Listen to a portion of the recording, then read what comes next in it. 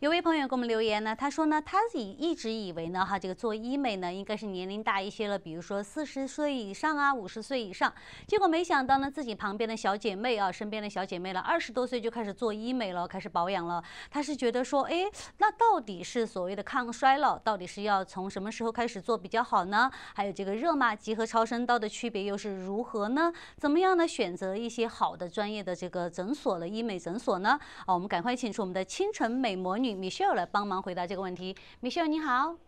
嗨，李亚，您您好，呃，大家早安，早安，嗯，呃，是这样子的，就是抗衰老的话呢，就是我们要两讲两个方面，有些人是遗传性的，就是啊，有一有一点比较就是衰老的这种容颜哈，另外一种的话，就是因为后天的这个年龄增长形成的。嗯，那么抗衰老项目现在来讲的话呢，它其实是种类繁多的。嗯，第一大类的话，我们可以考虑到就是注射类填充，那就包括了呃 A 型肉毒素的注射、玻尿酸的注射，甚至童颜针注射等等。那么第二大类型的话，就是我们刚刚讲到话题里面的光电仪器类型的，就比如说现在最超级火的这种超声刀、热玛吉的治疗，还有射频微针、激光镭射的治疗。嗯，再往下走，有些人说，哎，我都做过这些了，我想要一个更好的、更立竿见影的瞬间提升的效果，那我我我该怎么选择呢？嗯，那么这个时候我们就可以考虑，比如说线雕、埋线这种。可以立竿见影，但是效果的提升效果又很很明显的这种类类型。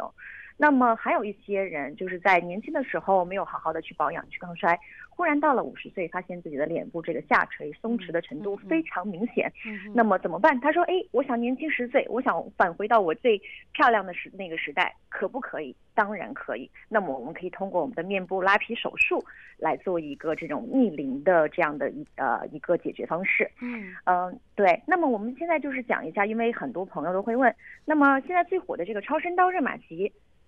天天都在听广播里面讲，或者说听身边的亲朋好友在讲，那么他们俩的区别到底在哪呢？嗯，是不是很常见这个问题？嗯嗯嗯，就分不清楚。嗯，对。那么今天我们就主要来讲一下这两大最火的医疗。仪器，也就是非侵入型的治疗抗衰老的这样的一种方式的区别在哪？嗯，呃，那么我们首先来讲一下热玛吉。热玛吉的话呢，它其实从二十年前到现在已经有二十年、二十多年的发展历程了。嗯，以前总是不温不火，忽然到了二零零七年年底、二零零八年的那个时候。五代热玛吉出现了，这个时候哇，忽然之间它的名声响彻大江南北啊，然后很多人就说，哎呀，这个真的为什么火？肯定它有它的道理，对不对？肯定要么就是治疗效果好，要么就是啊很多的这个疼痛感降低或者其他的一些。对对对。那么自从二零零八年五代热玛吉出来之后的话呢，就是嗯我们的这个抗衰老成为抗衰老整个这个抗衰老界的新宠了。那它利用的能量是射频微针。呃，射频的这样的一种能量，能量是从内，就是从外向内治疗的。它采用的是一种非常大面积的这样的加热方式，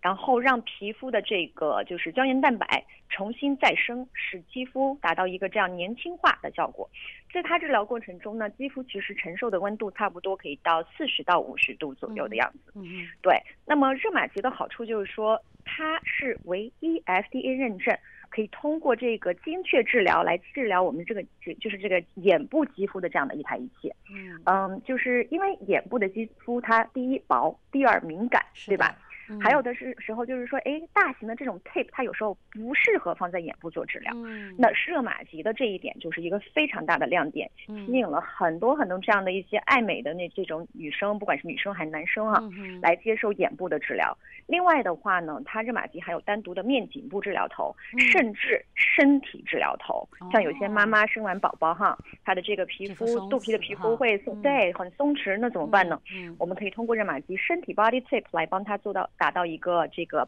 皮肤年轻化、紧致的这样的效果，对。而且五代热玛吉的话，官方给出的答案就是说，它的治疗深度可以达到四点四毫米。就是以前他们说，哎，它热玛吉只是针对表皮的，其实并不然。热玛吉的治疗深度现在可以达到四点四毫米，接近于我们的筋膜层了。嗯哼。对，所以说它提拉紧致的整个效果还是非常不错的。嗯，那么讲完这个日玛吉，很多人就会问，哎，那超声刀，呃，怎么样？我到底该适合日玛吉呢，还是超声刀，对不对？嗯，那么现在给大家解析一下啊，超声刀的话呢，相对于它是两千零八年左右出来的这样的一个技术，它用的这个能量跟我们的这个五代日玛吉完全是不一样的，它用的是 ultra ultra sound，就是我们的超音波，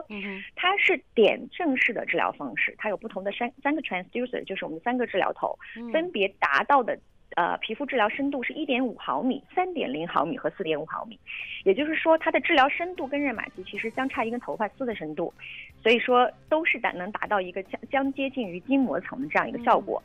嗯，所以说它的提升效果比其他镭射、激光、光电类的治疗要很好很多，嗯，那么在这个就是因为它是聚焦式嘛，聚焦式就是说它哎从皮肤的表层向内。定点式的治疗，比如说这一层全是一点五，全部治疗完了，换另外一个 transducer 三点五，哎，继续治疗，再到我们后面四点五，四点五再这样子，就是很多小点连成一个面，达到了一个就是诱导皮下胶原蛋白再生，从而达到提拉紧致这样的一个效果。那么超声刀的治疗呢，就是它在治疗过程中其实温度是达到了一个六十到七十摄摄氏度的，所以说就是对脂肪的溶解会有一个。非常好的这个帮助哈，嗯，好的，对对对，啊，嗯，非常感谢我们的这个亲生美魔女哈，Michelle 哈，因为说到了很多专业的这些词汇哈，我觉得呃很多时候呢，如果大家需要去呃咨询哈，或者是更需要更多的了解的话呢，可以跟我们的专家们去联系啊，在这个四十四点二华语电视的这个电视屏幕上面，你们可以看到专家的照片，也可以看到他们的联系方式、电话号码。